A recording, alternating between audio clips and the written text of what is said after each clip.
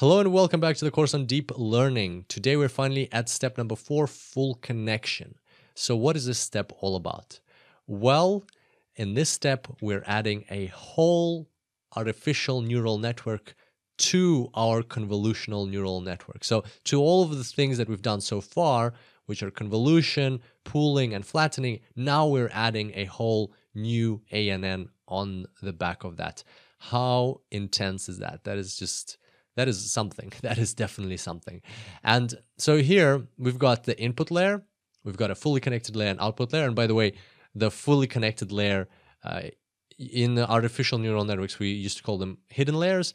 And here we're calling them fully connected layers because they are hidden layers, but at the same time, they're a more specific type of hidden layers. They're a fully connected layer. In artificial neural networks, um, hidden layers don't have to be fully connected, whereas in convolutional neural networks, we're going to be using fully connected layers, and that's why uh, they're generally called fully connected layers.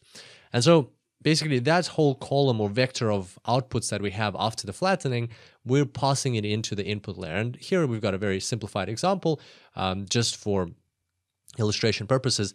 And what the main purpose of the artificial neural network is, is to combine our features into more attributes that predict the classes even better. So we already in our vector of outputs in the flatten in the flattened um, result from what we've already done, we have some features encoded in the numbers in that vector, and they can already do probably a pretty good job at predicting um, what uh, what uh, class we're looking at, whether it's a dog or a cat, or whether it's a tumor or not a tumor, and so on.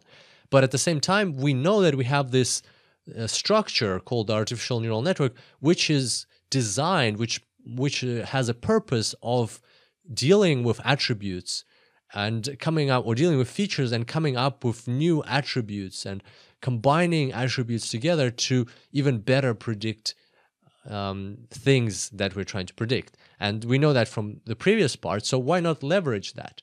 And that's exactly what the plan here is. So how about we pass on those values into an artificial neural network and let it even further optimize everything that we're doing. And so that's what we're going to be doing. But let's look at a more realistic example because this one is a bit too simple.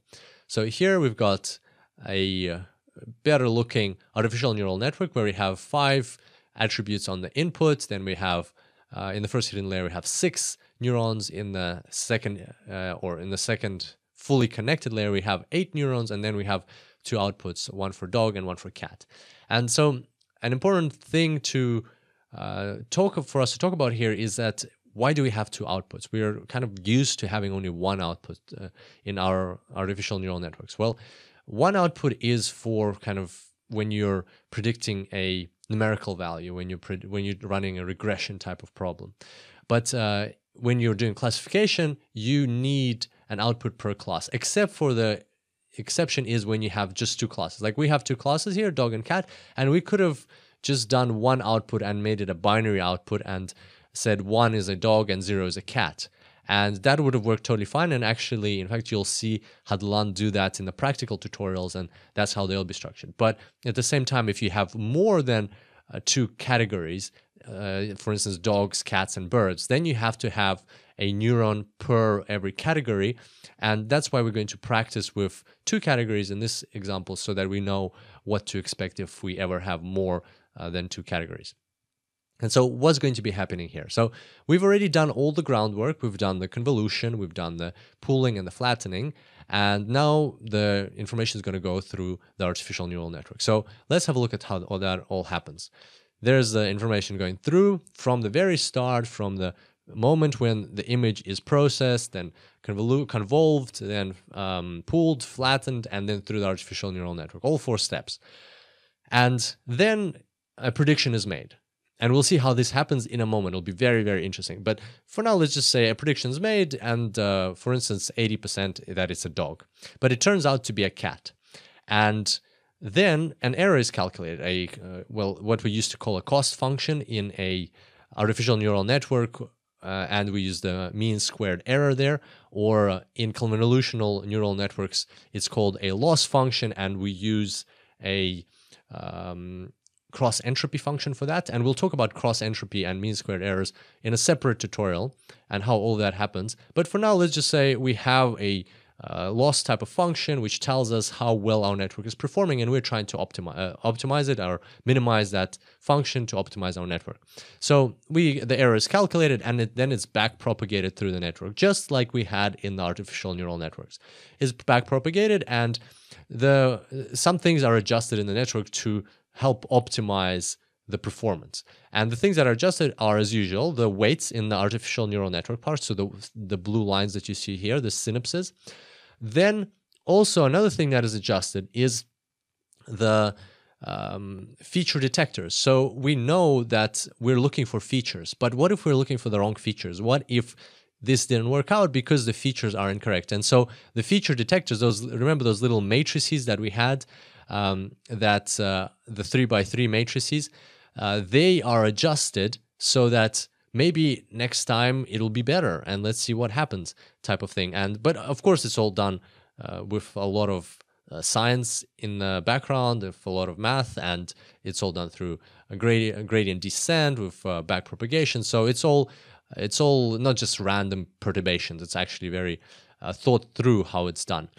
But uh, nevertheless the uh, feature detectors are adjusted the weights are adjusted and this whole process happens again and then again the error is back propagated and this keeps going on and on and on. And that's how our network is optimized. That's how our network trains on the data. So the and the important the important thing here is that the data goes through the whole network from the very start to the very end. Then the error is compared um, so the error is calculated and then is back propagated so same story as with artificial neural networks just a, uh, a bit longer because of that whole for the first three steps that we already had and now let's have a look at the the interesting part, the really interesting part. How do these two classes work? Because or how do these two output neurons work? Because before we've always kind of had one output neuron. What happens when we have two? How does um, how does this situation of classification of images uh, play out? Well, let's start with the top neuron first. We're going to start with the dog. Um, how do we? The main purpose, what we need to do first, is we need to understand what weights to assign to all of these synapses that connect to the dog so that we know which of the previous neurons are actually important for the dog. And let's see how that is done. So let's say hypothetically we've got these numbers in our uh, previous uh, layer, previous fully connected, or in the final fully connected layer. And again, these numbers can be absolutely anything. They don't have to be that. They they can be any numbers. But just for argument's sake, we're going to agree that we are looking specifically at numbers between 0 and 1. Uh, so it's easier for us to argue these things and understand. And 1 means that that neuron was very confident that it found a certain feature. And 0 is going to mean that uh, that neuron didn't find a feature it's looking for. So because at the end of the day, these neurons, uh, uh, like anything else on this from on this left side is just looking at features at an image. This is already very, very processed, but still it's detecting a certain feature or combination of features on the image, right? Before we, eh, in the convolve step, we had kind of recognizable features. In the pool step, they're less recognizable. Then they become even less recognizable in the flattened image. And then they get combined and so on. But nevertheless, this we're talking about here certain features that are present in the image or their combination. So a one which is being passed, and this is important, is being passed to both the dog and the cat at the same time, uh, to both the output neurons. So one means that for us, for our argument, it means that uh, this uh, this neuron has is firing up. It's it's really rapidly detecting that feature that you know might be an eyebrow. It might be detecting this eyebrow for again for simplicity's sake, is detecting this eyebrow and it's communicating that to the dog neuron to the cat neuron, saying I can see my eyebrow, I can see my eyebrow, and then it's up to the dog and the cat neuron to uh, understand what that means for them, right? And so in this case, which neurons are firing up?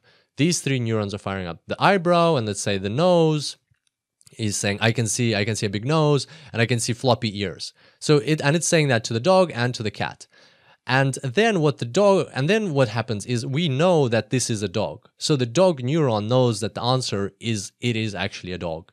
Um, because at the end we're comparing to the picture or to the label on the picture and it knows a dog. So basically, the dog neuron is going to say, aha, so I should be triggered in this case. So these are my neurons. They're telling the, this signal that they're sending to both to me, to the dog, and to the cat is actually a indication for me that it is a dog. And throughout these lots and lots and lots of iterations, if this happens many times, the dog will learn that these neurons do indeed fire up when the feature belongs to a dog. On the other hand, the cat neuron will know that it's not a cat and it will know that this feature is firing up and this neuron is telling me it can see floppy ears, floppy ears, floppy ears, but at the same time, uh, it's not a cat. So basically, to me, that's a signal that I should ignore this neuron and like and the more that happens the more the cat neuron is going to ignore this neuron about the floppy ears and so basically um, that that's how through lots and lots of iterations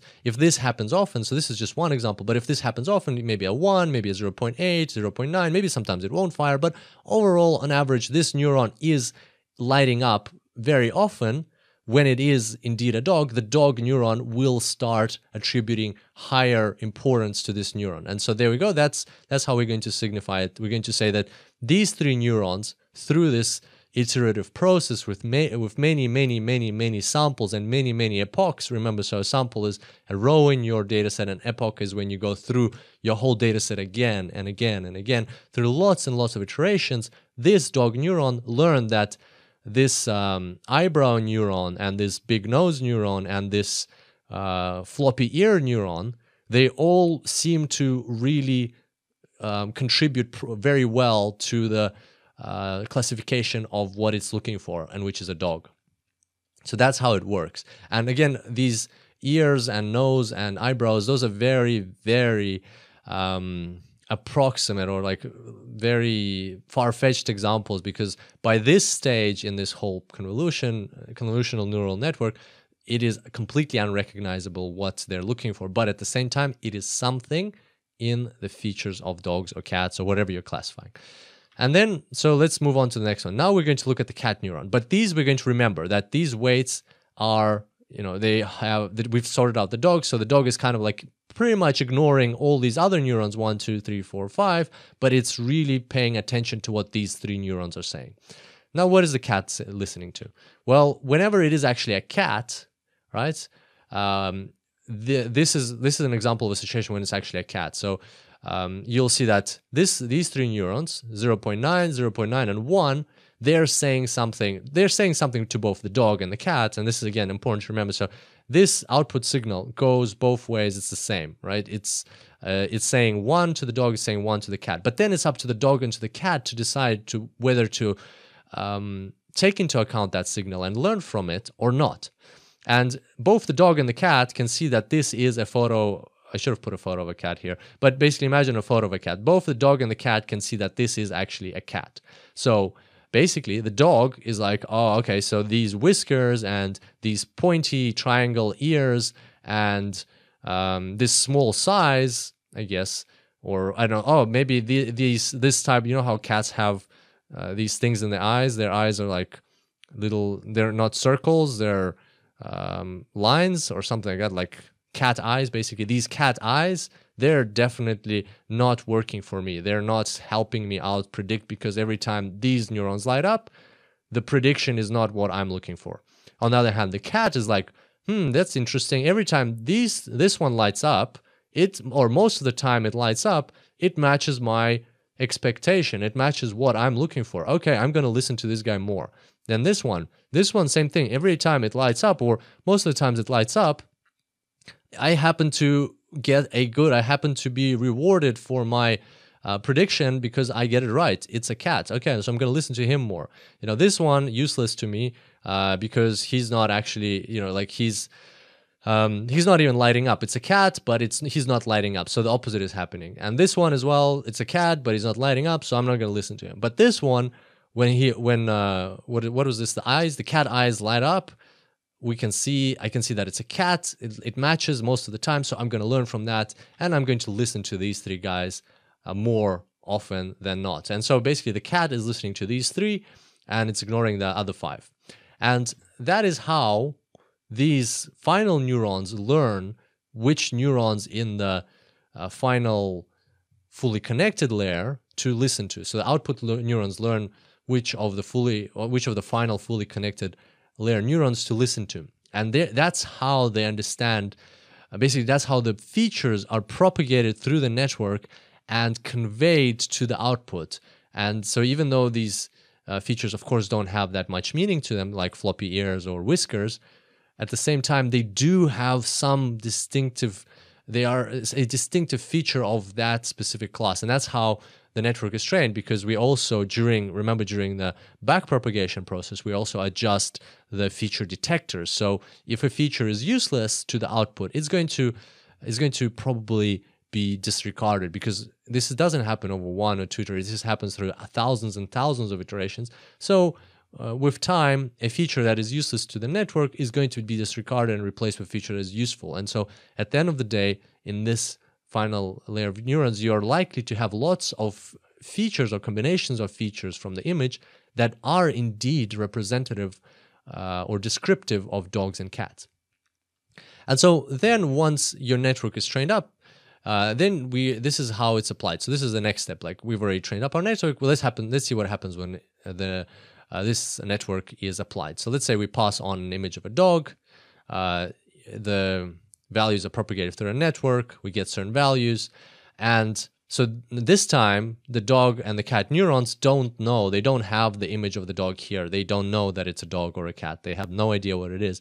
But they have learned to listen to what is being shown here, right? They have learned to listen to the dog neuron listens to these three neurons, the cat neuron listens to these three. And so the dog neuron looks at one, two, three and says, aha, these are pretty high. So my probability is going to be high that it's a dog. The cat neuron looks at these three and says, okay, these this one is pretty high, but these are pretty low. Interesting. So my probability is going to be 0.05. And and then and that's and that's where you get your prediction. So then your uh, first choice for this neural network is uh, dog, second choice is cat, and that's pretty much it. So the answer is dog. And same thing happens when you pass an image of a cat. Uh, you get new values, and you can see that even though this one's high, these ones are low, and for the cat, this one's high, this one's high, and this one's a bit low. So the probability here might not be as great as previously, but still you can see that it's a cat with 79%, and so therefore the neural network is going to vote that it's a cat. And so basically, or the neural network is going to conclude that it's a cat. Voting is a term that is used for these guys. So these neurons in the final fully connected layer, they get to vote, and these are their votes. And again, we are just for argument's sake putting values between 0 and 1 here. These could be any values, but they get to vote, and then these weights are the importance of their vote. So this is uh, these these purple weights are how the dog neuron views their votes, how much importance it assigns to these neurons and the, to those votes, and this is how much importance the cat uh, neuron assigns to these um, the, to the votes of these neurons. And so these neurons vote. The dog and the cat, based on their learned weights, they decide who to listen to, and then they make their predictions, and then the whole neural network concludes that this is, in this case, a cat and then that's uh, and then that's your conclusion. And that's how you get images like this where you have uh, a cheetah and then you have a uh, cheetah class with you know like a high high probability. So this is you know the probability that the network has predicted and these are lows. But these still exist because there's still kind of like a small chance the other neurons are uh, also listening to their voters and they're saying oh maybe it's actually a leopard and the bullet train very very probable here scissors you know this one won but hand glass was very close second and then frying pan uh, stethoscope because you could see uh, like these guys this this neuron the scissors neuron the output scissors neuron listened to its voters and it had the predominant vote overall, but then the hand glass had a good outcome as well. So there we go. That's how the full connection works and how this is all this all plays out together. I hope you enjoyed today's tutorial. We're going to summarize all of this in the summary as well, and I'll see you next time. Until then, enjoy deep learning.